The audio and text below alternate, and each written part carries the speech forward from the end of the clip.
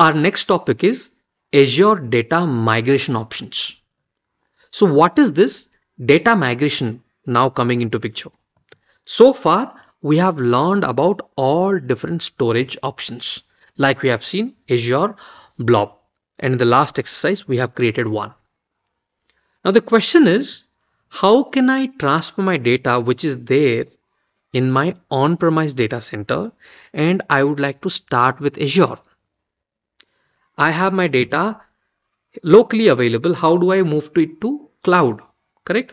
So this is what we call it as migration. The word migration means transferring your data from locally available data to the Azure cloud. Azure provides you two different migration options. If I ask you a question, how many different migration options are available with Azure? The answer is Azure Migrate and Azure Data Box. Now let's understand each of them in detail. So what is Azure Migrate? So the word migrate means transfer. Azure Migrate helps you to migrate from on-premises data centers to cloud. Azure Migrate is a hub or it's a portal to start, run and track your data migration to Azure.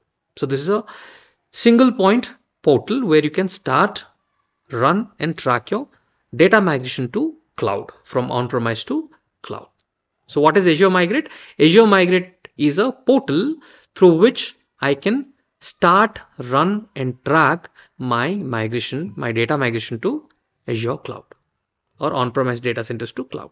So this is the option provided by Azure. Azure Migrate is a tool, okay, or a hub. Now, there are two migration tools. So it is a portal. So there are two migration tools inside that, important ones, which is Azure Migrate, Discovery and Assessment. That means before I move it to move my data from data centers to the cloud, I need to assess what data, what application, what databases, how much data I should move it to cloud. Correct? How much I, I don't have to because everything I'm moving, the amount of storage, amount of resources that I would be using, right? How much I can reduce it, how much I should keep, I sh how much I don't have to keep. So all this assessment you will do, discovery and assessment using the Azure Migrate tool. And the second one is Azure Migrate Server Migration to move your servers to the cloud. There are few more integrated tools which I'm going to talk about. The first one you saw is Azure Migrate Discovery and Assessment. Now what is this tool is used for? It is a tool that helps users to discover and evaluate on-premises resources before migrating them to Azure. Can i migrate? What data to migrate? So it's all these things right? Um, if, will there be a problem while migrating? So you will be assessing discovering and assessing what data to migrate or what to migrate. Like uh, all these things it will help you this is a tool discovery and assessment the second tool you saw server migration now what is this this tool using this tool you can migrate vmware or vms hyper-v vms physical servers and other virtualized servers and public cloud VMs to Azure. So let's say I'm using a public cloud VM and I would like to now move to Azure. All these things can be done using the server migration tool. The third one, data migration assistant. This is a standalone tool to assess my SQL servers. SQL servers are those basically which has the data right the sql servers to assess the sql server the data migration assistant tool is used so while migrating the sql servers to azure there could be certain problems while assessing. Um, you know you could find okay this data table or this table cannot be migrated this database cannot be migrated. What is the issue? How do you fix it? So it provides all those kind of helps. The fourth one azure database migration service. So this is an assistant and this is a service. You you really do it. You're doing it okay. So migrate like here you have discovery and assessment which is more like you are taking assistant right and then you're really migrating it similar way this is also data migration assistant and this is migration service migrate on-premises databases to azure vms running SQL Server or you also have something called Azure SQL databases its own Azure's own Azure SQL databases. So would you like to migrate to that? So based on using this tool, you can do migrate. You can migrate your on-premise databases to Azure, um, you know, uh, SQL databases or SQL Server. Azure App Service Migration Assistant. Now this is app means you can pretty well understand it's talking about a website or application. Is a standalone tool to assess on-premise websites for migration to Azure App Service. Now the next thing is Azure Data Box. So what is Azure Data Box? So Azure Data Box is a physical data storage device. You remember those days when we had a pen drive? We used to, even nowadays people are using it, but mostly data is getting transferred online nowadays. Earlier we used to uh, put the pen drive, transfer the data what we want to the pen drive and then transfer it to some other device. It's more like that. It's an offline data migration option. So what happens here? This data box is, is a large storage device which has a capacity of 80 terabytes. Now you can imagine the size 80 terabytes.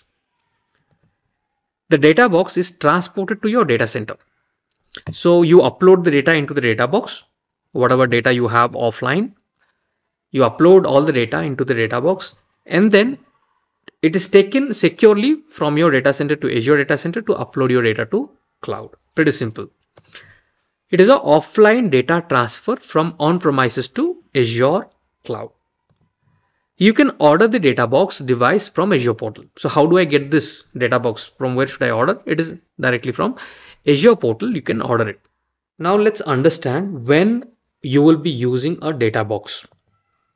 Now data box is ideal to transfer data sizes larger than 40 terabytes. Now when you should do it?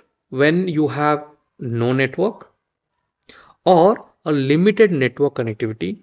These are the times which is ideal for these kind of uh, using a data box. Nevertheless, there are other scenarios as well.